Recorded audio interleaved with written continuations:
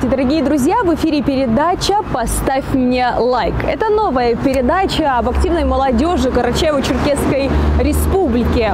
А Мы будем показывать вам разносторонних людей, которые активные, может быть, уже даже в своей профессии и еще занимаются и творческим любимым делом. Мы будем рассказывать вам о людях, которым 15, а может быть 20, а может быть даже 25 лет.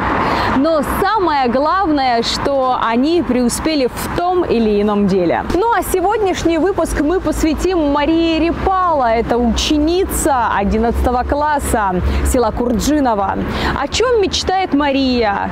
Как она построила свою жизнь? Что к своим годам ничего не хочет менять и живет очень счастливо? Мы сейчас все узнаем.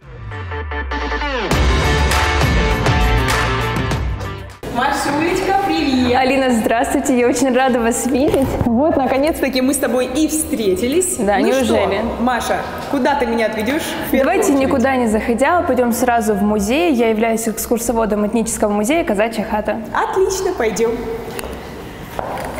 Уважаемая Алина, мы приветствуем вас в музее «Казачья хата». Очень приятно. Рассказывай нам, Машенька, что здесь?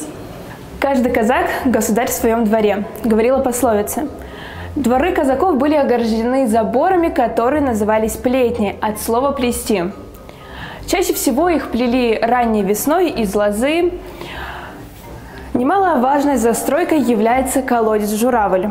Копание колодцев у казаков было связано с очень тяжким трудом, потому что их чаще всего копали по обету, то есть людьми, замаливающими грехи. Немаловажным предметом быта являлось коромысло. Оно предназначалось для переноски воды в ведрах. Чаще всего с обоих сторон вешали ведра и переносили их на плечах, чтобы вода при ходьбе не расплескивалась.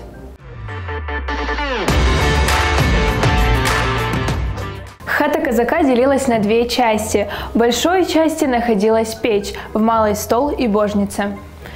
Печь строили по особым технологиям. Чаще всего она не доходила 10 сантиметров от стены. В печи также находился закуток, который завешивался занавесками. Внутри стоял самовар, а возле печи стояли ухваты и сковородка для углей, в которые переносили угли и клали в самовар, когда он уже стоял на столе, чтобы он поддерживал тепло, а то есть пел. Самым красивым углом являлась божница от слова «красный». Каждая хозяйка по-своему оформляла божницу, но одно оставалось неизменным. Ее украшали полотенцами и различными занавесками, которые украшали, вышивали сами. В нашем музее также находится самый первый утюг. Внутрь утюга закидывали угли, который из-за жара нагревался и гладил одежду. Данный сундук 17 века. Внутренняя крышка сундука была украшена различными фотографиями, вырезками из газет. Внутри сундука хранилось самое ценное. Спасибо за внимание. На этом наша экскурсия окончена.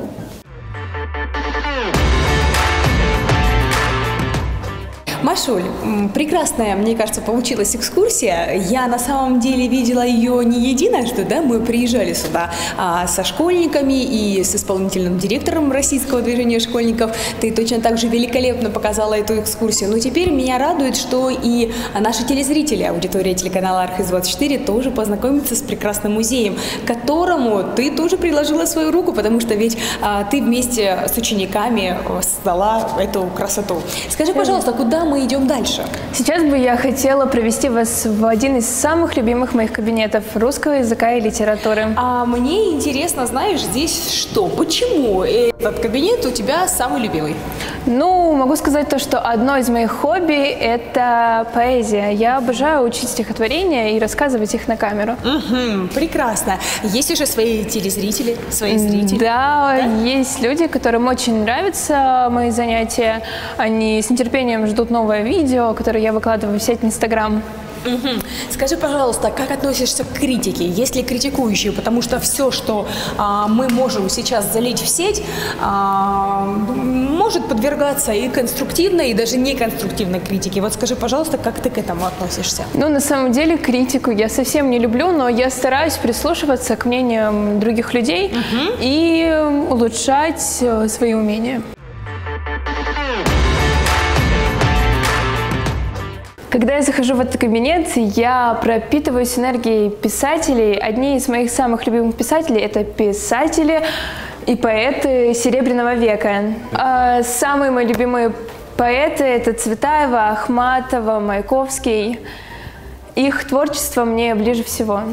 Мария уже не первый год участвует в международном конкурсе «Живая классика», и этот год не исключение. Мы побывали и здесь. Борис Васильев, «А зори здесь тихий отрывок». Двое выходили к берегу, без ранцев, налегке. Выставив шмайзеры, обшаривали глазами голосистый противоположный берег. Ёкнуло сердце Васкова. Разведка. Все-таки решились прощупать чащу, посчитать лесорубов, найти между ними щелочку. Федот Евграфович плавно, ветку боясь шевельнуть, достал наган. Уж этих-то двоих он наверняка прищучит, еще в воде, на подходе. Он оглянулся, стоя сзади него на коленях, Евгения зло рвала через голову гимнастерку. Вскочила, не таясь. «Стой!» — шепнул старшина. «Рая! Вера! Идемте купаться!»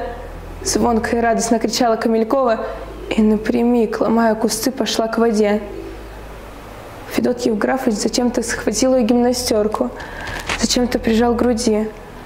А пышная Камелькова уже вышла на каменистый, залитый солнцем плес. Дрогнули ветки напротив, скрывая серо-зеленые фигуры. Евгения неторопливо, плавно извиваясь, стянула сначала себя юбку, потом рубашку, и, поглаживая руками черные трусики, вдруг звенящим голосом запела, завела.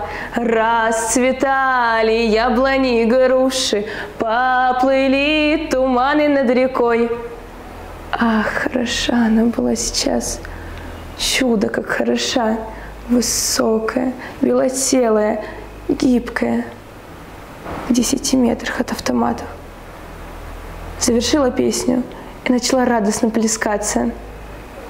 И опять его до черного ужаса обожгло ожидание, что сейчас ударит, и изуродует, сломает это буйное молодое тело. Но тут берег молчал. «Девчата, ай да, купаться!» Громко и радостно кричала Камелькова, танцуя в воде. «Ивана, зовите! Эй, Ванюша, ты где?» Федот Евграфович отбросил гимнастерку, сунув в карман галифе наган, на четвереньках минулся вглубь, в чищобу. Отбежал и яростно рыбанул сосну. Сроду он так быстро деревьев не сваливал. И откуда сила-то взялась? Нажал плечом, положил на сухой ельник, чтоб шуму больше было. Женька уже на берегу стояла, боком к нему и к немцам спокойно натягивал на себя легкую рубашонку и шел клип, и намокал, становясь почти прозрачным под косыми лучами вьющего из-за леса солнца. И опять его обожгло. Ожидание, что сейчас ударит. Но этот берег молчал. Молчал, и кусты нигде не шевелились. И он как не всматривал, не мог понять, там ли еще немцы или уже отошли. Гадать было нечего. Надо было что-то придумать. Добром не хочешь. Хотел громко крикнуть, не получилось. Горло сжало. Хватит играть с огнем, хватит. Женька его за руку потянула. Он рядом сел и вдруг увидел, что она улыбается, а глаза ее настежь распахнуты ужасом полны, как слезами. И ужас этот живой и тяжелый, как ртуть. «Уходи отсюда, Камелькова!» Изо всех сил сказал Васков. Она его не слышала. Надо было что-то придумать. Добром не хочешь? Народу тебя покажу. Схватил ее одежонку и побежал. Женька завизжала, как положено, вскочила и за ним бросилась.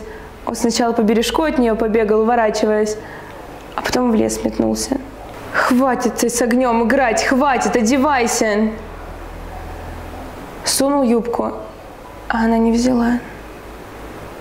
И рука висела в воздухе. Оглянулся, ругнуться хотел, а боец Камелькова скорчилась на земле и закрывала лицо руками. И плечи ее ходуном ходили. Это потом они хохотали. Потом, когда узнали, что немцы ушли. Хохотали над отхрипшей Осяниной, над Гурвич, что юбку прожгла, над ним, над старшиной. До изнеможения хохотали.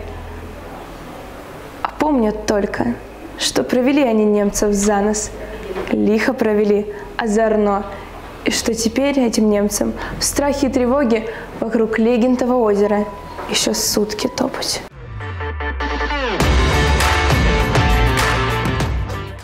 Машуль, у нас в передаче есть такой блиц-опрос. А, Сейчас вот, э, все, что в твоей голове, все твои мысли, мы хотим их видеть и слышать. Что такое жизнь? Ну, жизнь – это любовь близких, это активность, это друзья, это эмоции. Что такое семья? Семья – это очень близкие друг другу люди, которые делятся с друг другом очень многим, доверяют многое, любят друг друга и всегда готовы поддержать. Что такое счастье? Счастье – это внутреннее состояние, когда тебе все нравится, ты готов просто сиять, блистать э, и продолжать э, двигаться вперед э, в своей какой-то цели. Самое важное в жизни, я думаю, это когда твои близкие рядом, когда у них все хорошо, никто не болеет. И также важно в жизни добиться своей цели. То есть э, ты, когда уже сформировался, ты поставишь себе какую-либо цель, задачу и просто идешь к ней добиться, и это самое важное. Чего бы ты никогда не сделала? Наверное, не бросила своих близких тяжелой ситуации своих друзей и не пошла наперекор себе в каких-то корыстных целях. А какие отношения у тебя со сверстниками? Отношения у меня со сверстниками очень хорошие. Я очень общительный человек, и общаться я очень люблю, делиться чем-то новым или делиться знаниями. А учиться любишь? Учиться люблю. Люблю познавать что-то новое. А за что порицаешь людей? Больше всего за жестокость. Жестокость по отношению больше всего к животным. Я это очень не люблю, и мне очень больно смотреть, когда люди жестоко обращаются с братьями нашими меньшими. Что бы изменило в жизни села? Что бы изменило в жизни села? Ой, даже не знаю, потому что, в принципе, все устраивает. Здесь очень хорошие люди, все очень добрые, отзывчивые и всегда готовы помочь.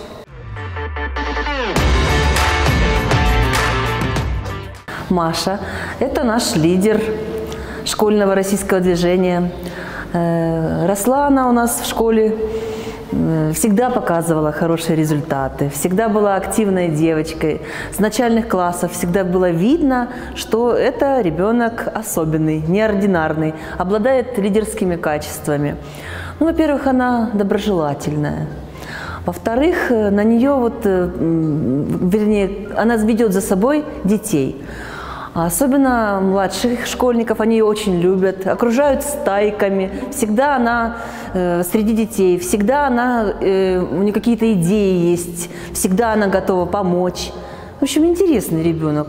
И вообще она для нашей школы гордость, потому что она принимает участие и в различных викторинах, в различных конкурсах, в олимпиадах. Э, Всегда на слуху фамилия этой девочки. Вот. Если что-то нужно, ну, хороший волонтер, кстати, если что-то нужно, помочь, она э, вместе со своими товарищами, разумеется, все мы делаем сообща вместе, всегда готова прийти на помощь, всегда готова участвовать в любых делах, не только школьных, но и внутрипоселковых и районных.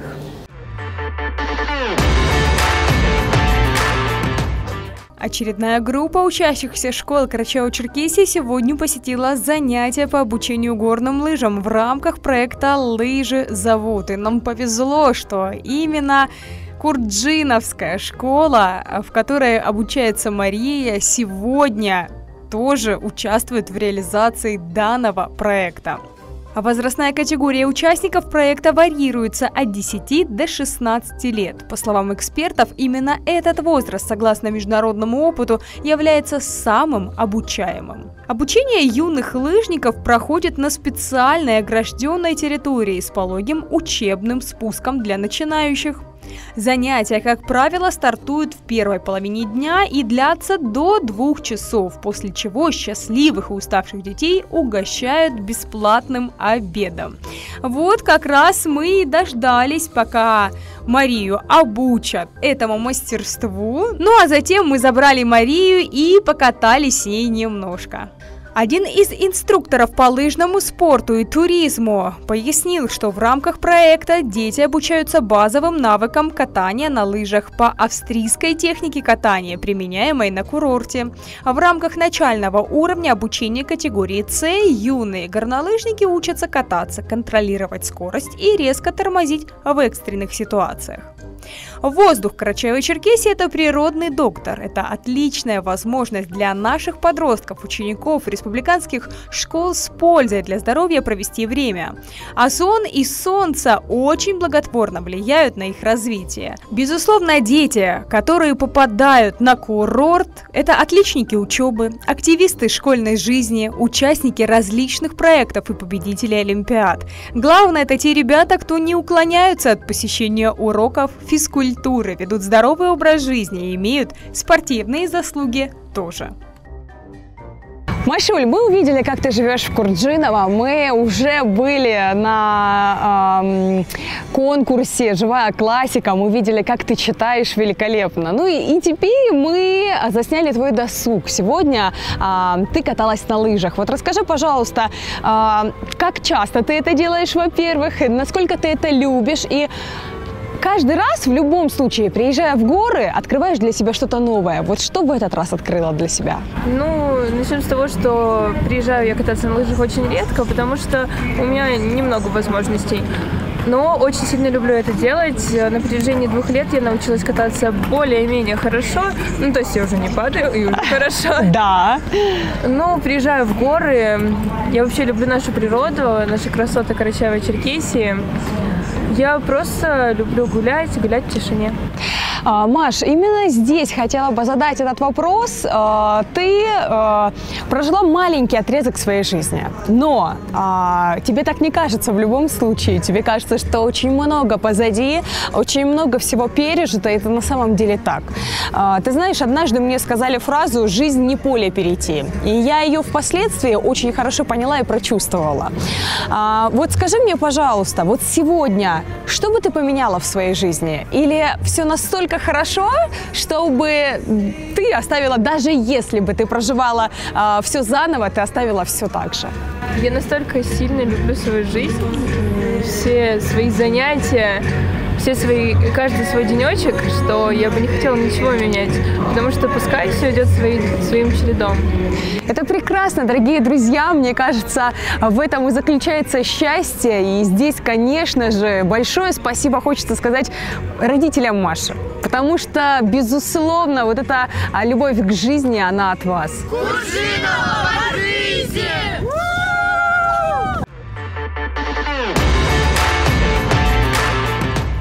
Вот такой выпуск у нас получился. Сегодня вы узнали о жизни Марии. Ну а если вы хотите стать участником, и вам есть 15, 18, 19, а может быть даже 25, и вы знаете, о чем нам рассказать, то пишите в директ аккаунта Архыз24, и мы обязательно с вами свяжемся. Кто знает, может следующая передача о тебе.